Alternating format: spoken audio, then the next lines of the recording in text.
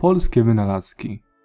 Projekty kamizelek kuloodpornych zostały stworzone w niemal identycznym czasie przez dwóch naszych rodaków, Kazimierza Żeglenia oraz Jana Szczepanika, który w 1901 roku opatentował swój wynalazek, a niespełna 4 lata później jego wynalazek uratował życie króla Hiszpanii, Alfonsa XIII, który w zamian podarował mu order Izabeli Katolickiej. Lampa naftowa skonstruowana przez polskiego chemika, farmaceutę i przedsiębiorcę Ignacego Łukasiewicza w 1853 roku w Lwowie była efektem prac nad destylacją ropy naftowej, a odkrycie to miało bezpośredni wpływ na rozwój przemysłu naftowego. Zaś samego Łukasiewicza nazywa się ojcem przemysłu naftowego w Europie.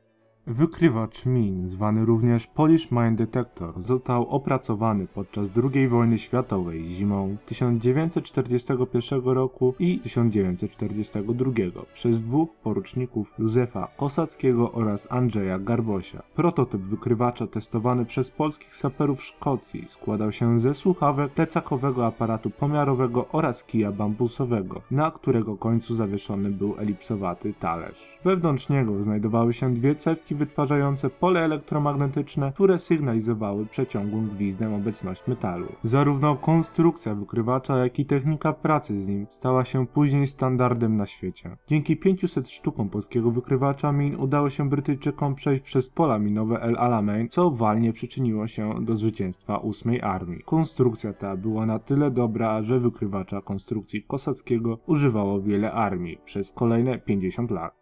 Walkie-talkie, zwany również krótkofalówką, został opatentowany w 1937 roku przez Kanadyjczyka Donalda Hinksa. Jednak to Polak Henryk Magnuski w 1943 roku wprowadził do użycia plecakową radiostację o wadze 16 kg, nazywaną przez żołnierzy właśnie walkie-talkie. Po wojnie znalazły one szersze zastosowanie. Zdecydowaną zaletą walkie-talkie jest jego prostota oraz zasięg, który wynosi 12 km. Lampa fluorescencyjna, popularnie nazywana świetlówką, to także polski wynalazek, w dodatku dość stary, posięgający roku 1930, kiedy to badając problem luminescencji, fizyk, wieloletni rektor Uniwersytetu Warszawskiego i twórca Polskiego Towarzystwa Fizycznego, profesor Stefan Pieńkowski odkrył możliwość oddziaływania promieni UV na gaz zamknięty w szklanej rurce. Do roku 1935 udało się opracować metodę przemysłowego tworzenia świetlówek do użytku publicznego.